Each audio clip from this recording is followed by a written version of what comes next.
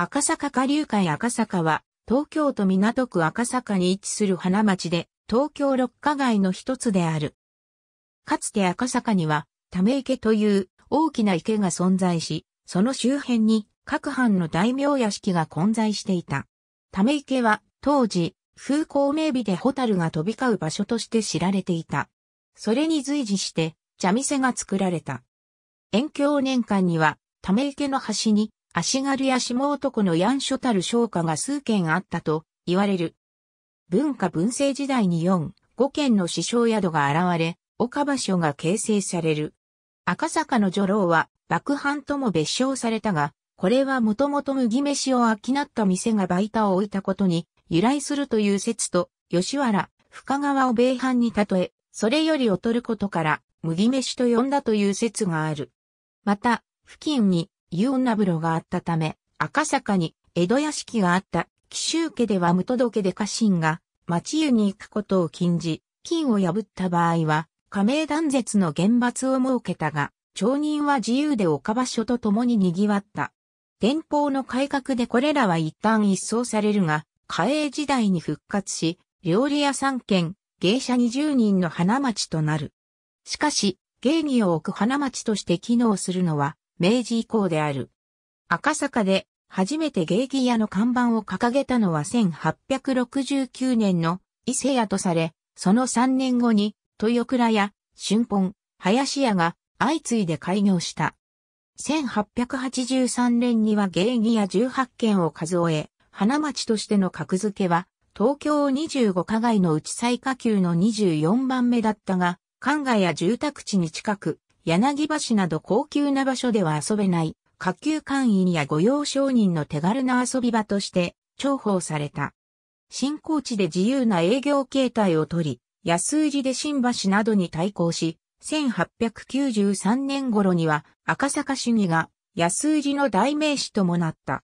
日露戦争を契機に反映し、1906年には芸妓屋65件を数えた。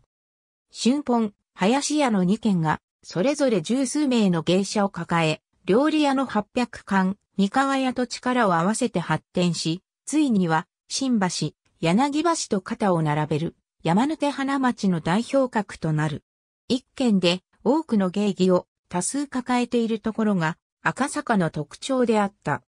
近くに兵営ができ、国会も開設されたことにより、軍人、政治家の利用が増え、最盛期には芸妓400名、特に春本の一万竜や林やのりんこという芸妓が、売れっ子として名を知られ、彼女らの写真が完売になるほどであった。こうした人気芸者や芸妓屋の競い合い、ダンス場付きの待合といった新様式の登場、海軍や海運業者の引き立てなどで大いに反映し、一時は新橋をしのぐほどの勢いとなった。関東大震災や昭和恐慌の影響を受けたものの、昭和初期には芸妓屋120件、芸妓約400名、料理屋10件、待合90件を数えた。昭和30年には芸妓300名、料亭80件であったが、政治家による待合政治が批判を生み減少し、バーやスナック、クラブなどがの業種が増え、2007年時点で、料亭6件、芸妓10人前後となった。2009年、4年前の2005年に閉店していた、料亭、金龍が新業態の店として復活し話題を呼んだ。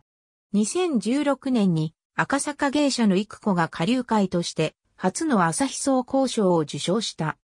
ABC 港区市上官 P1073 から1075航空デジタル港区市 ABC 赤坂サント加害めぐり、松川次郎町、P35 ハット ABC 港区主下館、P1617 から1619航空、デジタル港区市 ABC 新州航空市、P527 から529航空、デジタル港区市、新州航空市、P605 から606航空、デジタル港区市赤坂経済新聞2009年3月17日号より、赤坂育子さん港区役所、広報港2017年1月1日号。